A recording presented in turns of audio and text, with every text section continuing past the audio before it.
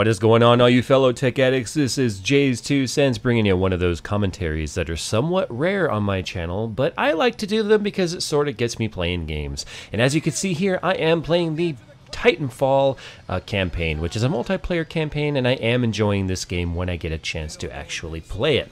So, what do you guys think of that intro there? Pretty sweet, huh? You'll see it a little bit later in the video. It was a pretty epic battle. The gameplay here starts out kind of slow, but then I sort of get into my groove later, and I become MVP of this round. So, go ahead and enjoy this gameplay.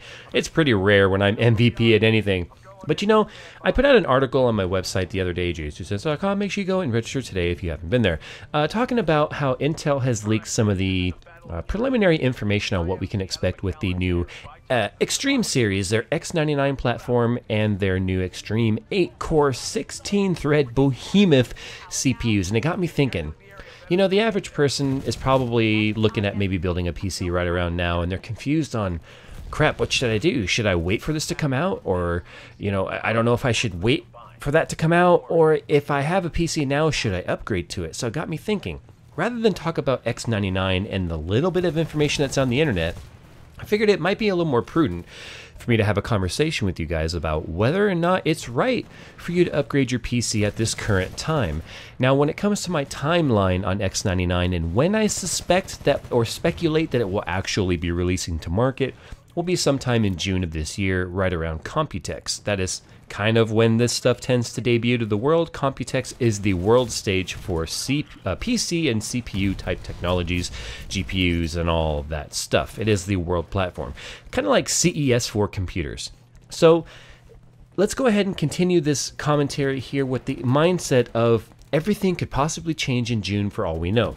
And we do know that there's some more stuff coming down the line with Intel, with uh, Broadwell and their, you know, their minor Haswell refresh. So it's I get a lot of questions, people asking, is it time to upgrade? Should I upgrade? And you know, that is a very difficult answer for me to give you a definitive yes or no. There's a lot of factors that you have to ask yourself, and that's kind of a reoccurring theme in these commentaries that I do about PC components and what's right for you you must be honest with yourself and you must ask yourself a few basic questions. The first basic question, that is probably the most important question, is Does my PC currently do what I need it to do? It comes down to that, people. If your computer does what you want it to do, then the simple short answer of do I need to upgrade or is it time to upgrade is no. But let's face it, if we build our own computers and we're gamers, we are also enthusiasts, which means that we are going to want to upgrade. So that kind of brings me to question number two. Do I need a new computer or do I want a new computer? Those are two very similar sounding questions that have completely different connotations that go along with them. If you're like me and you're doing constant rendering or you're doing a lot of power using with your computer, chances are moving up to a next uh, generation platform could very well be beneficial for you. If you're just a gamer or you're not really doing any sort of intensive tasks on your on your PC, chances are you would not see any sort of an effect moving to a newer platform, not just X99 or any of the 8 core 16 thread stuff coming out from Intel, but moving to any platform, that be moving from AMD to Intel, which I did last summer, or moving from a lower end CPU on AMD or Intel to a higher end CPU. If you're doing simple tasks like gaming and surfing the internet, you're probably not going to see any difference other than you'll have less money in your wallet. And at the end of the day, you're really not going to see any sort of quote unquote seat of the pants difference of your computer. There's a lot of things you guys need to take in mind when it comes to upgrading. You may need a new power supply. You might need new memory. X99 is only going to take full advantage of its new platform on the DDR4, uh, the new DDR4 RAM. So you're going to have to take into account, you're going to have to buy a new motherboard, you have to buy a new CPU, and you're going to have to buy new RAM, which means you're talking a lot of money. And if you're just doing simple stuff like playing Titanfall right here, it quite honestly would be entirely wasted. So what I think would be a better upgrade if that is the situation that you're in would be take a look at your graphics card. Maybe you should get a second graphics card and go SLI or Crossfire with your current GPU. And there was that kill, by the way, we saw in the beginning. Yeah, that was pretty awesome. You know, for a, a shitty gamer like me, it was kind of cool to pull that off. But anyway, I digress. Let's go ahead and get back on topic here. Oh yeah, look at that, and I killed that guy. Sweet.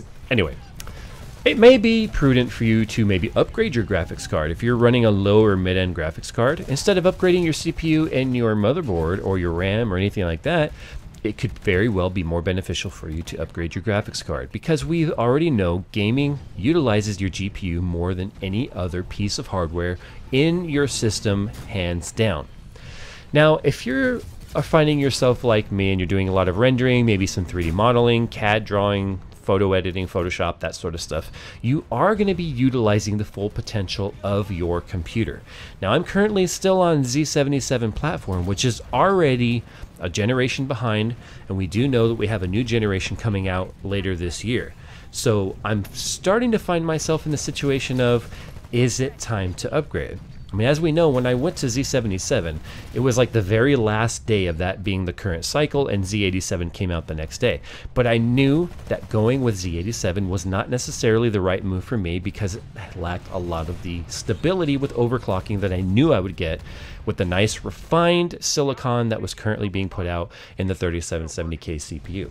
See, these are things that you also have to take in mind. If you like to tweak your computer and you like to overclock and stuff, it's never a good idea to adopt the very first round or very first phase of any new platform rollout. Early adopters, you take the chance and you take a risk of getting a dud the bottom line is the, the silicone process and the processing of the CPUs just are not nearly as refined as the process matures. Now, we do know that Broadwell is going to be a minor refresh, so there's not going to be anything substantial happening with that refresh.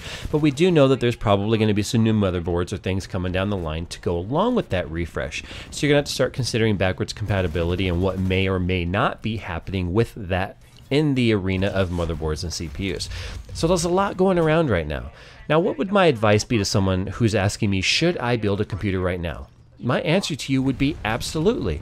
Buy it and build it right now. You're not going to be missing out on anything major when it comes to the new features. In fact, most of us barely use any of the features that are really available to them on their motherboards anyway.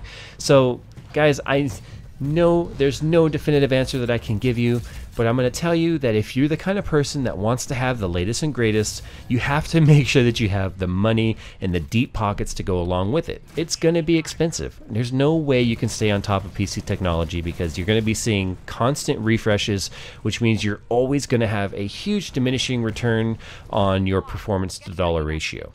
Now, I suggest if you're looking at building a PC right now, you go ahead and build it and you just don't look back. Take your PC, do what it is that you built it to do, whether it be gaming, rendering, or whatever, and enjoy it. You're not going to have a lesser gaming experience because you decided to go ahead and build now versus waiting a couple of months from now. If you decided to buy something that was a couple of years old, that's a little bit different story.